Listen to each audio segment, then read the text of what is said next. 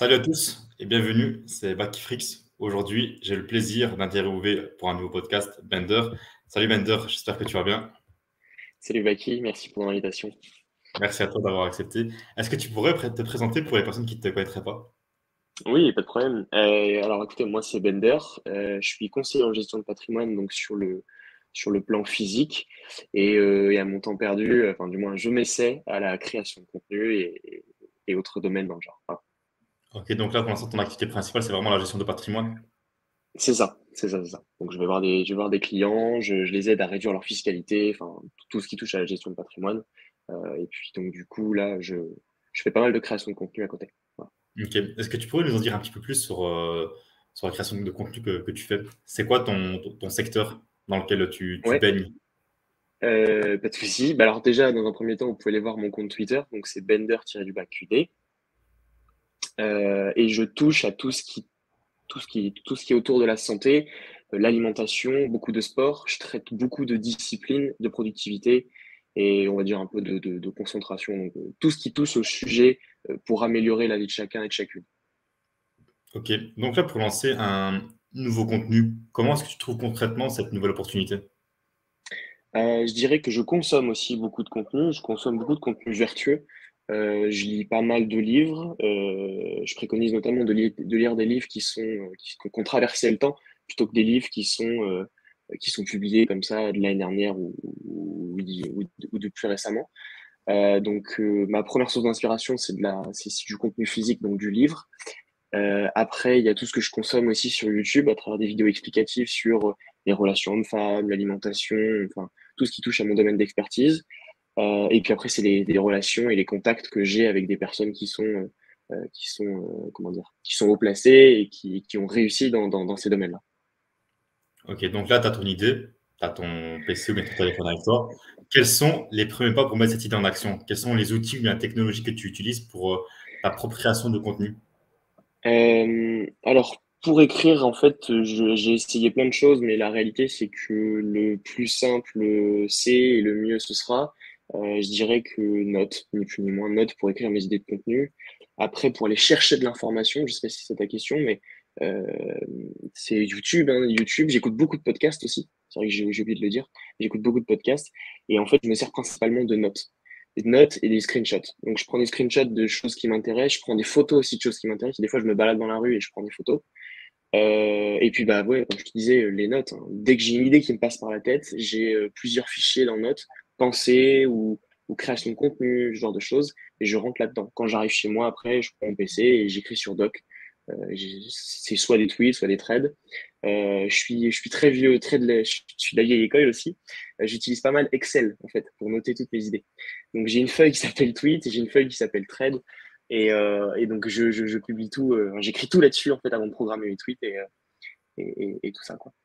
Donc tu suis bien un programme particulier ou bien est-ce que tu, lances des trades comme ça quoi Non non non non non en fait si bah, un programme euh, précis, non. Dès que j'ai une idée de quelque chose, euh, disons que je. Euh, en fonction de ce qui se passe, de ce que j'ai publié en amont ou de ce que j'ai publié récemment, bah, il y a plus ou moins un trade qui va correspondre à ma vision des choses cette semaine-là. Et puis, je regarde ce qui a marché durant ma semaine. Par exemple, je ne sais pas si les gens sont un peu plus réactifs, par exemple, au sujet de l'alimentation cette semaine, bah, je vais commencer à orienter euh, mes tweets et mes idées de trade justement sur ça.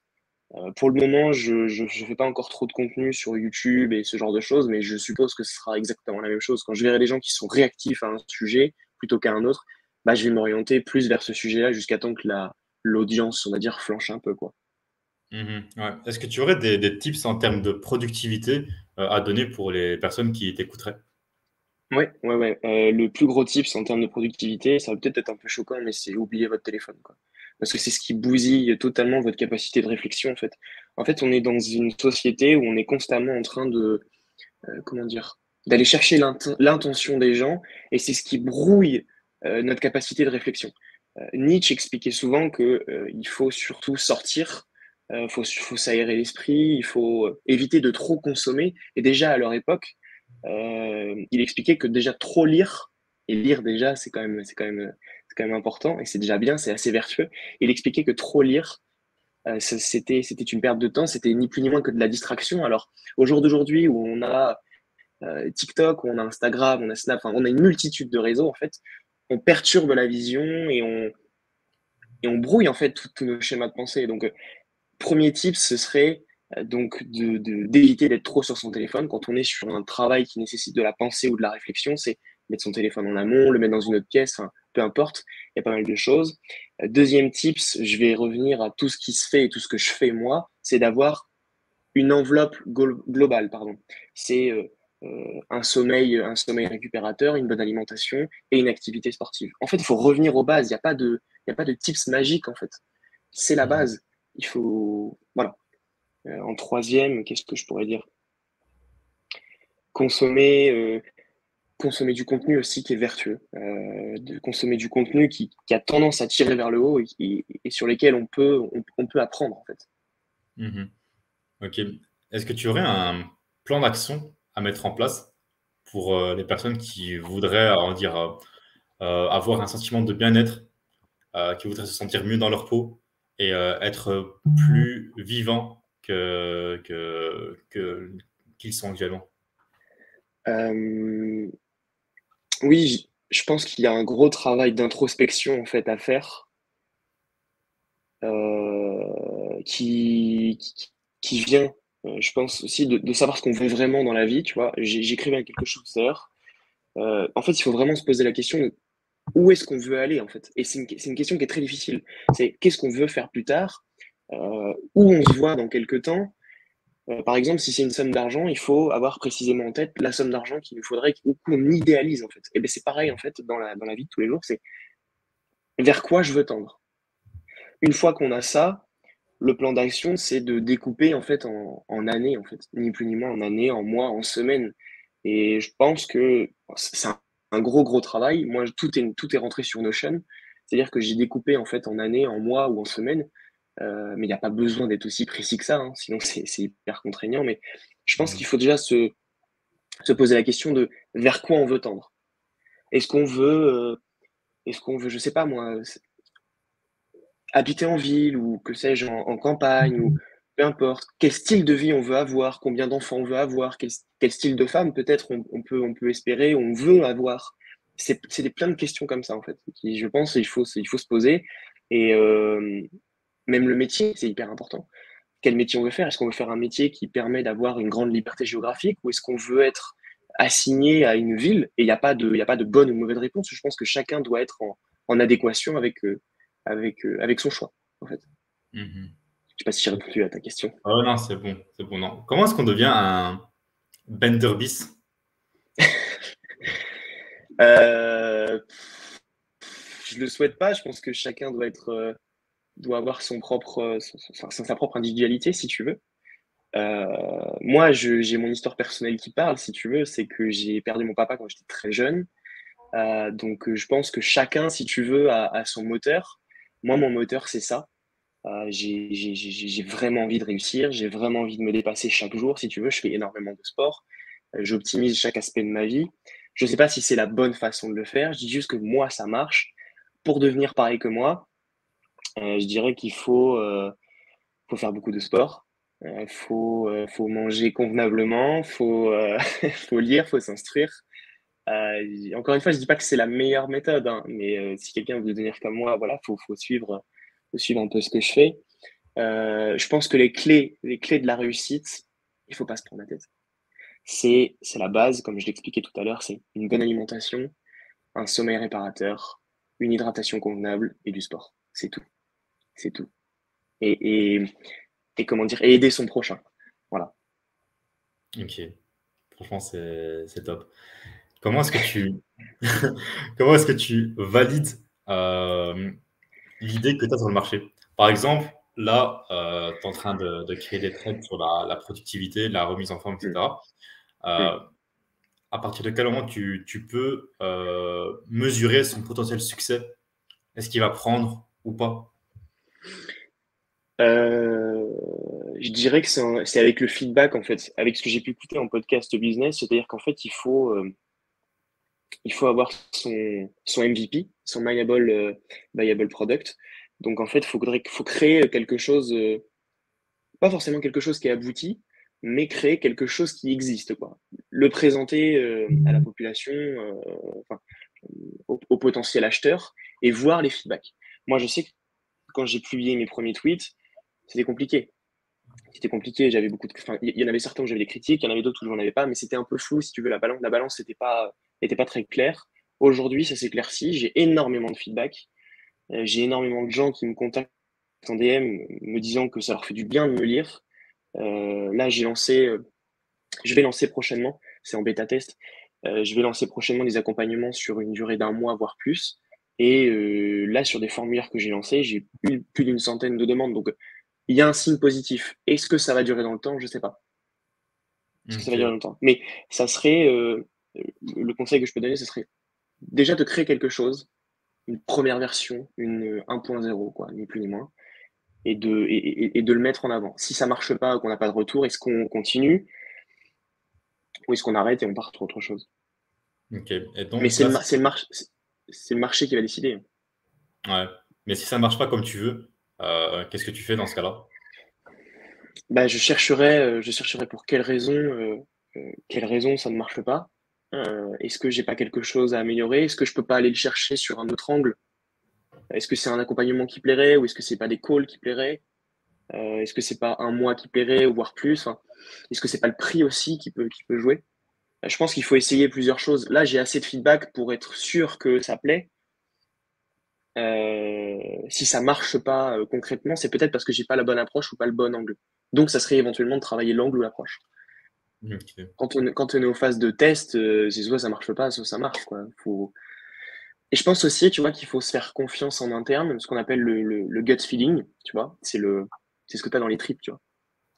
Moi, je sais que ce que je fais, si tu veux, ça sera peut-être pas un impact mondial ou européen, si tu veux, mais ou même que ce soit sur à l'échelle à de la France entière, si tu veux, mais déjà au peu de personnes que j'aide, que j'appelle, même des gens de mon entourage, si tu veux, il y, a déjà cette valeur ajoutée, quoi. Donc, euh, je sens que ça prend. Euh, et, comme tout entrepreneur, c'est que, ouais, comme je te dis, il faut, euh, il faut faire confiance à son, son gut feeling, en fait, si tu veux. C'est que quand tu as quelque chose où tu as, as, cette impression que ça va marcher, ou, ou alors pas du tout, ça peut être, ça peut être l'inverse, je pense qu'il faut se faire confiance. Tu vois. Mmh. Ok. Et dans ton cas, est-ce qu'il y a une phase de, de, de, scaling qui est possible à mettre en place?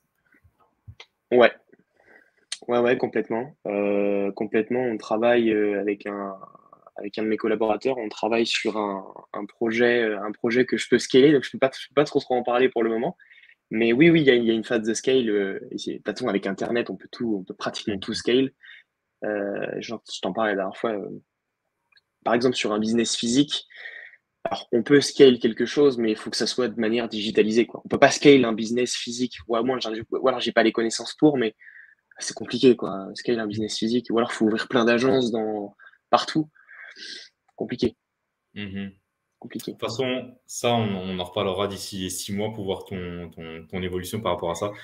Si, tu as, su passer la phase de, de, scaling, on en reparlera d'ici là. Mais là, maintenant, toi, tu es plus du genre à rester concentré sur un projet et d'ensuite passer au suivant, ou bien de lancer plusieurs petits projets?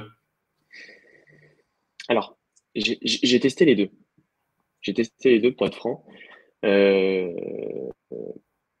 disons, je pense que être sur plusieurs petits projets, ça marche pas tant que ça. Ça marche pas tant que ça. Je pense qu'il faut se focus sur un. Et une fois que ça tourne, que ça commence à tourner, on peut éventuellement déléguer pour aller chercher un autre projet, mais il faut toujours rester un petit peu dans le, dans le, dans, le processus de lancement sur le premier projet que tu as. Mmh courir plusieurs lièvres à la fois, au final, ce qui se passe, c'est que tu finis jamais par en attraper un, quoi. Et tu t'es jamais à 200% si tu as quatre projets à gérer. Euh, moi, je travaille, enfin, j'ai dans mon entourage des gens qui ont eu euh, quatre grosses entreprises physiques. Ils ont démarré les deux autres quand la première euh, et la deuxième tournaient bien. C'est-à-dire que la première tournait bien, ils se sont dit, tiens, on va, on va développer mmh un autre truc à côté. Et quand la deuxième tournait bien, on va développer une troisième développer trois choses en même temps, c'est hyper compliqué. À mon sens, hein, je... peut-être qu'il y a des mecs qui, qui, peuvent le faire, mais Mhm. Faire croître trois grosses entreprises, que ce soit physique ou digital, euh, je pense que c'est compliqué. Mhm. Ok. Et pour le, mot de la fin, qu'est-ce que tu dirais aux personnes qui ont peur de passer à l'action?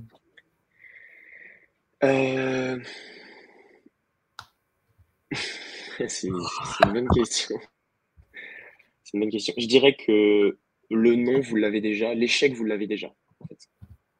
Quand vous faites rien, vous avez déjà l'échec, vous avez déjà le non. Donc, la seule chose que vous pouvez avoir en vous lançant, c'est aller chercher un oui ou, une réussite. En fait, si vous faites rien, vous, allez, vous, allez, stagner, vous allez rester au même point. Euh, je prends l'exemple, par exemple, d'un homme qui veut aller parler à une fille. Le non, vous l'avez déjà. Donc la seule chose que vous pouvez aller voir, c'est euh, que vous pouvez aller chercher, en fait, c'est un oui. Alors je comprends que c'est parfois difficile, mais il faut aussi, aussi s'armer un peu de courage, quoi. C'est, euh... enfin, je sais pas, faut, faut se bouger un peu, tu vois. C'est un... je suis peut-être un peu, je suis peut-être un peu, un peu dur, mais il y a personne qui va venir vous chercher, euh, qui vous aidera et qui vous dira, euh, bon, viens, on fait ci, on fait ça. C'est et tu vois, on a, on a un peu perdu cette, euh, ce, sens, ce, sens du, du combat, si tu veux. C'est un peu aussi sur ça que je lutte sur mes réseaux, c'est que, enfin, bougez-vous, quoi. Comment aller chercher euh, autre chose? Enfin, faut le faire. Faut le faire. Il n'y a, pas de, y a, pas de, méthode miracle, en fait. Ah ouais, tu as, as, raison à ce niveau-là. Il n'y a pas de, de, de recette miracle. Il faut juste passer à l'action. Euh, ne pas avoir peur de, de, de se planter parce que c'est justement en se plantant qu'on récupère l'expérience et qu'on pourra mieux faire la prochaine fois. Tout à fait. Et euh, je veux rajouter aussi que la confiance en soi est un dérivé de la compétence. C'est-à-dire que si vous n'avez pas de compétence, c'est difficile d'avoir confiance en soi. Faites du sport, euh, apprenez une compétence que vous pouvez, euh, que vous pouvez monétiser, lisez, il y a une culture générale. Ça, ça, ça, ça, ça vous permet d'avoir une confiance. Et quand vous avez la confiance, je ne vous parle pas d'écraser le monde, je vous parle d'avoir un minimum confiance en vous. Par exemple, quand vous voulez aller parler à quelqu'un, ou euh, ça se travaille, quoi. Tenir un dialogue ou tenir une discussion avec des sujets poussés, ça se travaille. C'est des podcasts, c'est euh, de, la connaissance, c'est des livres. Ça se fait pas comme ça. Moi, je ne vais pas parler à l'échelle d'entreprise. Euh, enfin, j'ai pas été parler à l'échelle d'entreprise du jour au lendemain. J'ai dû accumuler pas mal de compétences parce que c'est des mecs qui sont ultra calés sur tout. Euh, mhm. et, euh, et, je, ne suis pas, je suis pas très vieux, donc euh, j'ai besoin d'accumuler des compétences. Encore une fois, je le redis, la confiance en soi est un dérivé de la compétence. Créez de la compétence, vous aurez confiance en vous. Bah écoute, Vander, merci à toi pour aujourd'hui. Plaisir. plaisir. Où est-ce qu'on pourrait te retrouver sur les réseaux? Alors déjà sur mon Twitter, vous tapez Bender, euh, Bender normalement vous, vous, pourrez me trouver, sinon c'est Bender-QD. Euh, de toute façon, euh, je mettrai ton, lien en description, ils pourront, cliquer dessus. Carrément avec, avec plaisir. Et puis on va, on va développer petit à petit du format, du format vidéo qui, qui, qui, pousse à inspirer les gens et à les motiver à, à sortir de leurs conditions initiales à travers différents tips, différents lifestyles, différents formats de, de vidéos. En tout cas, merci à toi pour aujourd'hui. Merci d'avoir accepté l'interview. Merci, Becky. On reste euh, dans tous les cas euh, en, contact. Je te souhaite énormément de, réussite pour la suite. Et comme je t'ai dit, on se retrouvera d'ici euh, six mois pour voir ton évolution. Ouais, avec plaisir, ça marche, pas de souci. Merci à toi, Bender. À la prochaine. À plus tard, ciao. Salut. Du coup, les gars, voilà, c'était l'interview de, de, Bender. J'espère que vous aurez aimé. Ça change un petit peu des autres interviews que, nous avons fait euh, auparavant. N'hésitez pas à vous abonner à ma chaîne, à liker la vidéo, à commenter et à euh, vous abonner aussi euh, à Bender sur Twitter. Je mettrai son lien en description. Et on se retrouve pour un prochain podcast. Et à très bientôt. Salut.